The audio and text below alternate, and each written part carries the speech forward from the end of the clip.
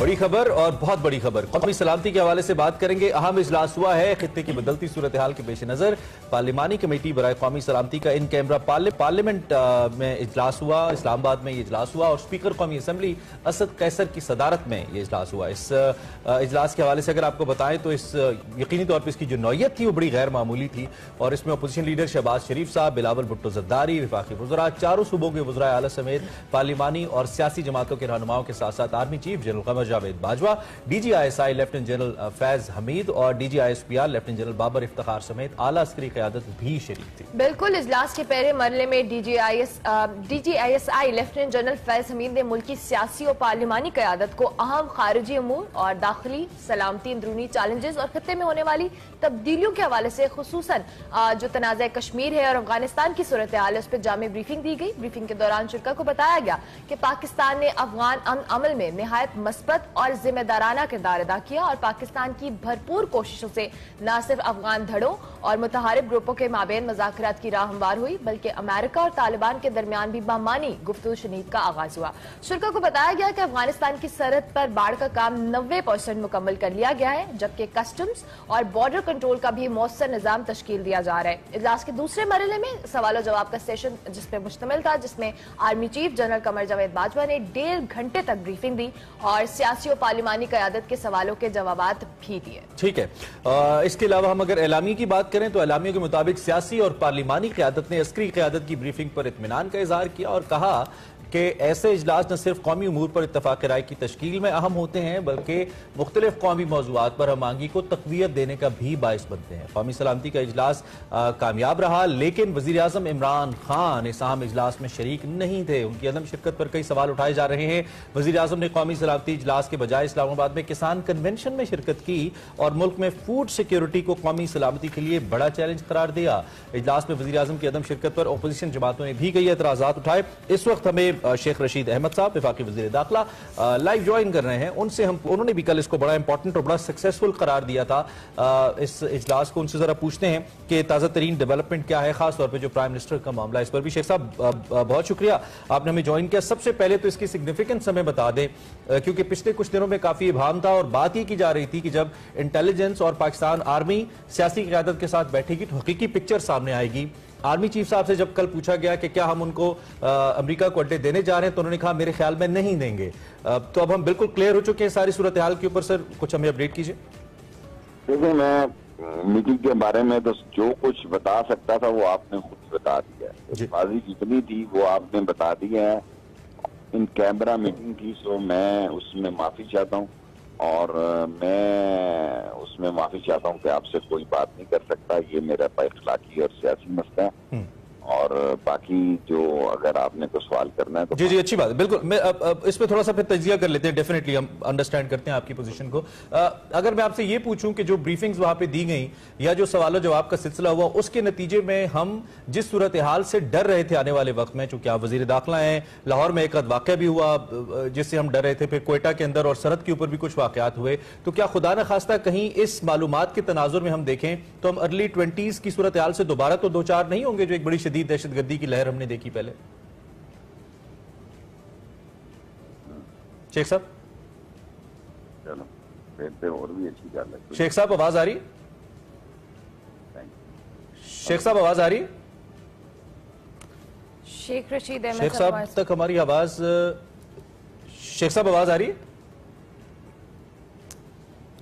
शेख रशीद अहमद साहब हमारे साथ मौजूद हैं। ऑडियो शायद कनेक्ट हो रही है। दोबारा शेख साहब कैनी हेमी जी आवाज़ आ रही है आपको? यस अच्छा मैंने पूछा ये कि मैं आपकी पोजीशन को समझते हुए जो आपने कहा कि हम तमाम बातें नहीं बता सकते हम खुदा ना खास्ता कल जो ब्रीफिंग्स हमें मिली हैं या कल जो मालूम या सवालों जवाब का सिलसिला हुआ अस्करी क्यादत के साथ उसके नतीजे में हम अगर देखें तो कहीं अर्ली ट्वेंटीज जैसी सूरत हाल से दोबारा तो दो चार नहीं होंगे जो शदीद दहशत गर्दी की लहर हमने देखी किस हद तक एतमाद मिला या खदशात बढ़े कल की ब्रीफिंग के बाद शेख साहब? नहीं मेरा ख्याल है सारी जो पाकिस्तान की सूरत हाल है सारी अपोजिशन और गवर्नमेंट पार्टी एक देश पे थी। सारे फौज के साथ हैं और सारे ने सब लोगों ने बाजवा साहब ने खुद जवाब दिए हर एक पार्लियामानी लीडर से आठ घंटे मीटिंग हुई और ये एक तारीखी मीटिंग थी रिकॉर्ड साज मीटिंग थी और मैं समझता हूँ कि सारे पाकिस्तान की सारी क्यादत जो है मौलाना जमीयत इस्लाम समेत और नून और पीपल्स पार्टी सब एक बात पे थे और पीटीआई सब एक जगह पे वज़ीर आज़म क्यों नहीं थे वहाँ पे? मैं इसके भी नहीं जाना चाहता हूँ वहाँ राय ये थी कि शायद कोई मिसअंडरस्टैंडिंग पैदा हो गई वरना तो वो आने के लिए तैयार मिसअंडरस्टैंडिंग सर अस्करी और सियासी क्यादत के दरमियान?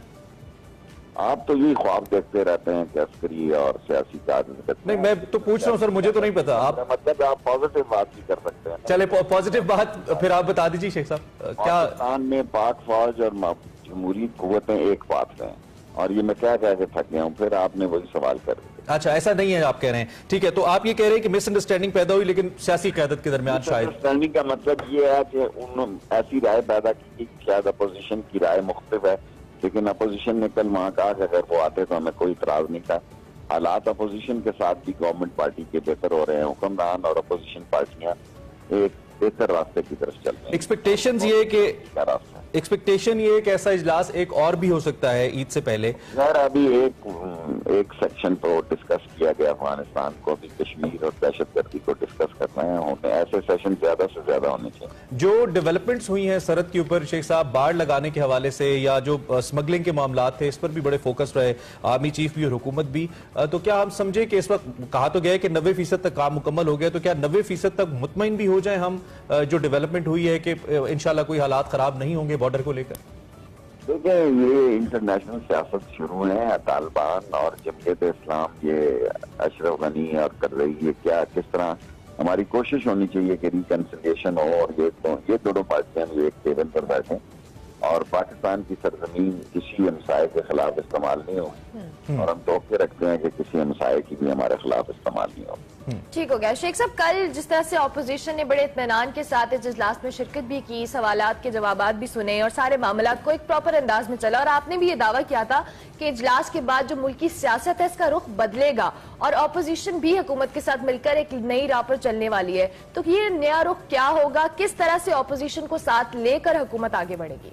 देखिए हुकूमत को अपोजिशन को साथ लेकर चलना चाहिए और कौमी सलामती के मसले में सब एक हैं ये कल साबित हुआ है। और ये बड़ी खुशाइन बात है कि कोई इख्तलाफ नहीं है कौमी जहाँ तक के मुल्क की सलामती का मसला है। बाकी सियासत में इख्तलाफ राय रखना उनका हक है वो करें और जमहूरी उनका राइट है वो करें।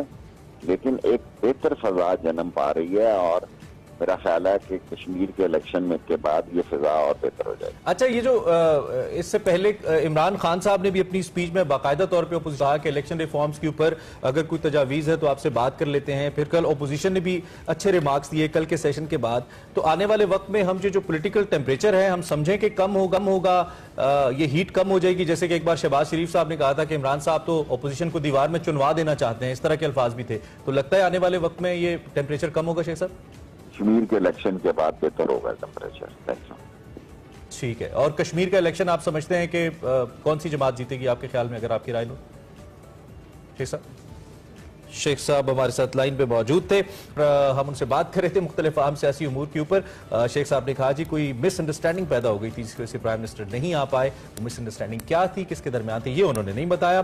खैर इस वक्त जो इस सेशन की हम बात करें वो सेशन बड़ा इंपॉर्टेंट था। प्राइम मिनिस्टर का उसमें होना बड़ा इंपॉर्टेंट था। लेकिन प्राइम मिनिस्टर का ना होना ऑब्वियसली उस पर बहुत सारे सवाल पैदा कर रहा है। पूछना हमारा हक है। शेख साहब ने इसका जवाब देना मुनासिब नहीं समझा। दैट्स इज़ राइट आगे बढ़ते हैं और हम अगर इस मजमूरी तौर पर सूरत हाल पर बात करते हैं अफ़गानिस्तान की तो this is such a critical moment और पाकिस्तान की जो क्यादत है उसका मुतफिक होना एक बड़ा अच्छा मैसेज है दुनिया के। मैसेज है। इसी नोट पर हम एक ब्रेक लेंगे। ब्रेक के बाद हाजिर होंगे। आप देखते रहिए एक्सप्रेसो